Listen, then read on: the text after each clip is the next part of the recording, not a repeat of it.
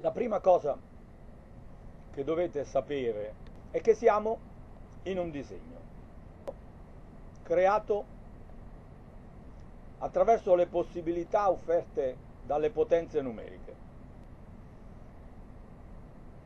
Il ciclo base è legato all'unità fatta da due opposti che si seguono, proprio in virtù dell'alternanza di un'onda formata dai due opposti, l'alto e il basso. Ebbene, alla base di questi due opposti ci sono le tre dimensioni della realtà, le quali si mettono in relazione unicamente con se stesse, rimanendo però sempre un tutt'uno, ossia attraverso dei calcoli che analizzano o sintetizzano, ma non dividono in parti separate.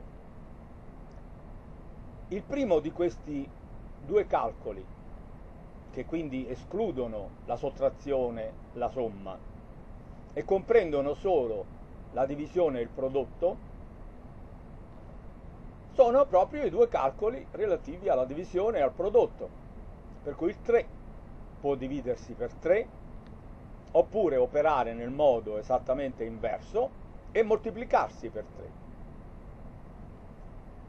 L'onda formata da questi due opposti processi del 3 diviso 3 e del 3 per 3 è data da un'onda che nel risultato è 1 per 9 nel prodotto.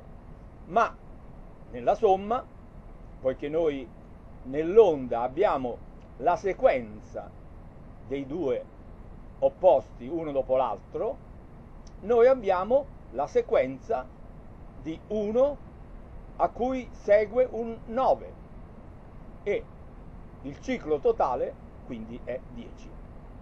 Se noi partiamo dall'unità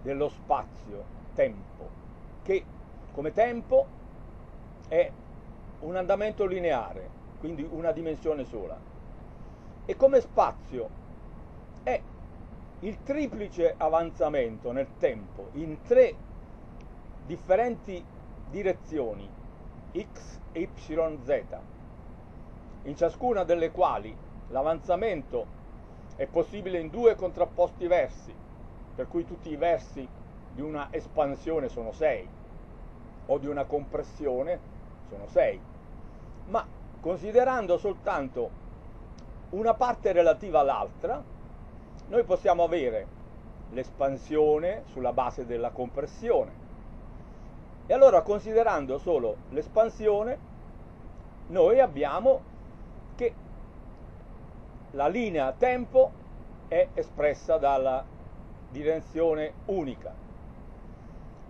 del tempo. La linea spazio è la trinità delle linee formate nell'unità del tempo. Quindi, poiché il tempo è uno dato da 3 terzi. E l'espansione totale del sistema tridimensionale è 3x3 9 è una espansione nell'area espansione che non implica tempo perché nell'area del flusso di un fiume c'è soltanto lo spazio della sezione e manca assolutamente il flusso nel tempo. Quindi espandendo il 3x3 noi espandiamo puro spazio il tempo invece è la dimensione 1 data da 3 diviso 3. Ebbene, il ciclo intero, partendo dalle tre dimensioni dello spazio rispetto alla dimensione 1 del tempo lineare, portano all'unico ciclo che è 10. Anche la realtà complessa, che parte da meno 1 e più 1 e quindi è unitaria nell'avanzamento 2 relativo all'arretramento 2, l'avanzamento relativo, ossia il più 2, è il tempo, l'unità del tempo, perché sono due mezzi. Ebbene, questa unità complessa, perché va dal negativo al positivo, quando si esprime a livello del volume reale, ossia a livello delle tre linee dimensionali, con 2 elevato a 3 uguale 8, rivela la composizione che ricorre a 8 linee. Di conseguenza, due linee come tempo e 8 linee per comporre il volume sono 10 linee nuovamente. Quindi vedete che il nostro sistema è costruito assolutamente sul ciclo 10 e il 10 non è un numero che abbiamo inventato noi perché era comodo avendo noi 10 dita con cui contare. No, è vero esattamente il contrario, che noi esseri ragionevoli, razionali, che usiamo la logica decimale per comprendere ogni cosa, quando ci siamo dovuti attrezzare di due mezzi per comprendere in altro modo, per contenere, per acchiappare, ne abbiamo fatto una entità avente 10 dita con cui comprendere interamente l'intero ciclo lineare. L'organismo umano idealizza la costruzione ideale usata dalla mente per capire. Ve la dimostra la struttura resistente di una mano che è composta esattamente da 54 ossicini e 54 che è il numero dell'intensità unitaria della luce alla dimensione di 10 alla 13 cicli al secondo questo 54 è il risultato di un prodotto tutto costruito e pure sul 3 dato da 3x3 che considera quindi l'espansione di un'area per 6 che, che considera tutti i versi che esistono sia nel positivo sia nel negativo. Per cui il risultato che accade è che il 9 per 6 54 somma moltiplicandosi per quel 6 sia il 3 al cubo che è il volume positivo sia il 3 al cubo che è il volume negativo. E sono 27 ciascuno. Infatti 27 più 27 fa 54 54 quindi è non solo il volume complesso positivo negativo ma è anche la superficie laterale di un cubo avente il lato 3 quindi vedete benissimo che queste 54 unità che noi usiamo per comprendere, usano proprio ogni possibilità resistente per tradurre poi questo movimento in quello articolato della mano che riesce a comprendere, nel senso di contenere, allo stesso modo con cui un lobo solo del cervello riesce a contenere nello stesso modo e due lobi assieme riescono a comprendere esattamente il 10.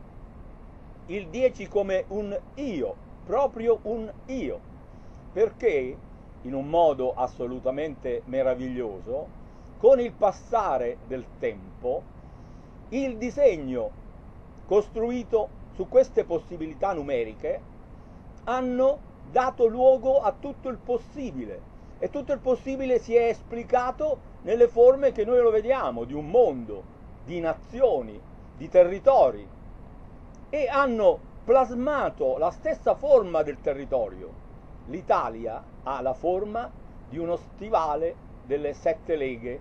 E in tutto il mondo indica proprio il paese che va, il paese del miracolo, di un Dio che infine si incarna in un essere esattamente uguale a tutti noi, colpevole, per esercitare in costui il castigo di Dio, il doveroso castigo di Dio, il quale, avendo creato una realtà in cui esiste la sofferenza e il male, quando decide di entrare in un uomo nel mondo, non assume la parte vittoriosa, ma assume la parte proprio del rigettato, di quello che, pur essendo santo in se stesso, nella profondità di se stesso, è considerato reo, rio, colpevole, empio, come furono considerati empi due re in Israele, re Manasse e Amon. Re Manasse ed Amon sono prefigurazioni della fase finale di quando Dio si sarebbe presentato in Romano da re Manasse e Amodeo da Amon. La coppia dei due avrebbe avuto un riferimento numerico proprio nell'anno in cui divennero re, 22 anni tutti e due, e nella durata del tempo in cui furono re. Re Manasse fu re per 55 giorni, laddove il 5 è il complemento al 2, perché 5 per 2 fa 10. Quindi divenuto re a 22 anni, il primo che regna per 55 anni rimanda a un virtuale 110. Il secondo, che viene dopo, e che fu Amon, divenne re a, anni, a 22 anni e fu ucciso dopo appena due anni di regno. E qui abbiamo addirittura la trinità del 2, 2, 2, 2. Quel 2, 2, 2, che poiché 2 più 2 più 2 fa 6, indica proprio Romano numero 66, quando i valori numerici si trasformano in valori di letteratura. Cosa c'entra la letteratura? Cosa c'entra il nostro linguaggio? Il nostro linguaggio ha il dono di riuscire a colpire la sintesi vera che esiste in un insieme, cogliendo i lati che sono in comune. Per dimostrarvi una cosa, il concetto albero comprende ogni tipo di albero. Se voi dite a un computer riconosci un albero, gli devi presentare tutti i possibili tipi di albero. Allora riesce a dirti questo è un albero. Fino a quando non sfuma un albero singolo, aggiungendogli tutto quello che non è presente in quell'albero ma è presente negli altri, non riesce ad astrarre il concetto albero. Quando la nostra mente riesce ad astrarre il concetto, allora indica la grandissima capacità di sintetizzare un'idea generale, complessiva, che riguarda una intera unità e ogni unità diventa un concetto che poi accomuna tutti i membri di quel concetto. Quando si chiede a una scimmia di parlare e non riesce a parlare, è perché questa facoltà è proprio quella caratteristica del cervello umano che è capace di questa sintesi interpretativa. Perché il linguaggio, attribuendo un numero a un concetto, de- definisce esattamente in un modo preciso tutto quello che può essere organizzato con quella struttura. Per esempio il concetto amore, amor, è lo stesso concetto di Roma, vale 41 e 41 vedete benissimo che è un numero organizzato in una maniera perfetta dall'unità e dall'unità nella trinità del 10 perché 40 è 10 più 30 aggiungendogli l'unità alla unità e trinità nel 10 noi abbiamo che il 41 è un valore veramente ideale a rappresentare il nostro sistema